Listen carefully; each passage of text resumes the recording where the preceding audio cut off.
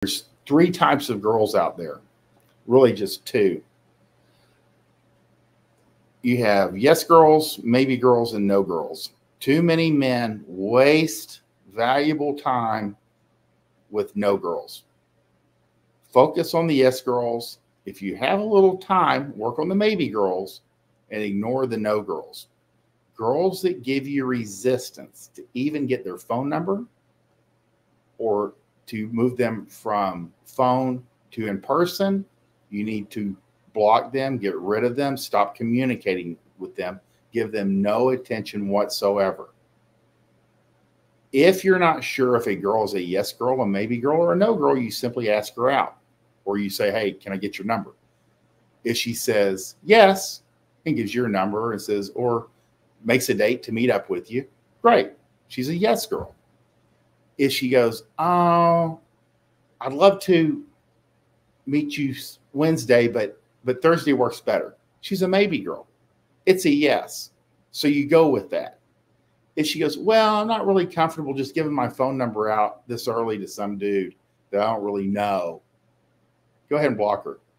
If you ask her out she goes, No, and doesn't give you an alternative time or date, not an excuse. She doesn't, you know, she goes, Hey, I'm washing my hamster.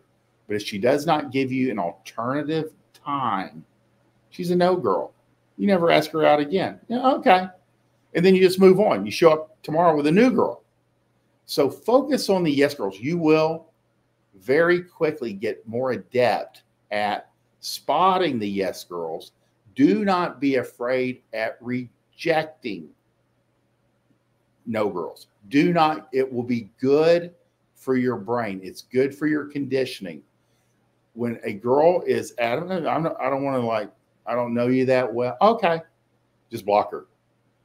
No, I'm not. I don't. I don't give my number out on here. The, the idea of being on a dating app is to meet guys and meet women. Why are you there if you're not giving your number out? And you're not meeting up with people. That's the entire purpose of it.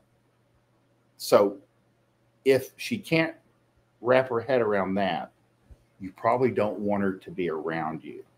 It's better to like just block her. Just you unmatch. Don't get into a pissing contest. There's no reason to explain anything. Just block her or just unmatch.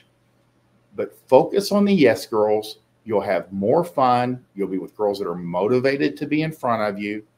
And it just works out better for everyone.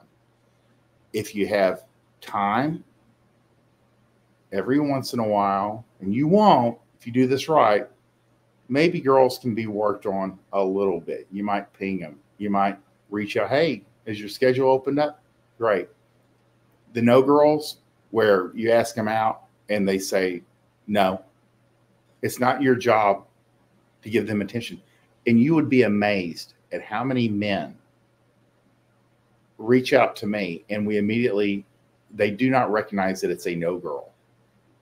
False hope. Again, if you are reaching out generally and focused in on a girl that you have not fucked yet, you're not juggling enough girls. You're not meeting enough girls. You do not have enough girls in your pipeline.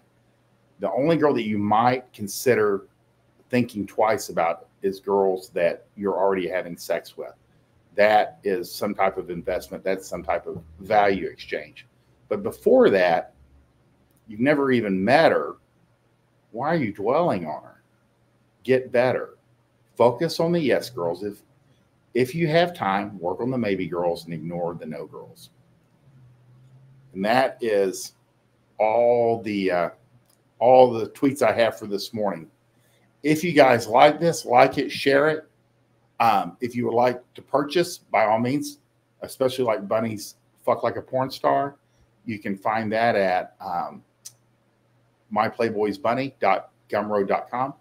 And if you would like any of my material, you can find it at fortworthplayboy.gumroad.com. And tomorrow morning, it'll be Bunny and I right here. Um, we're going to be covering sex and cougar game. And we look forward to seeing you then. Have a great day.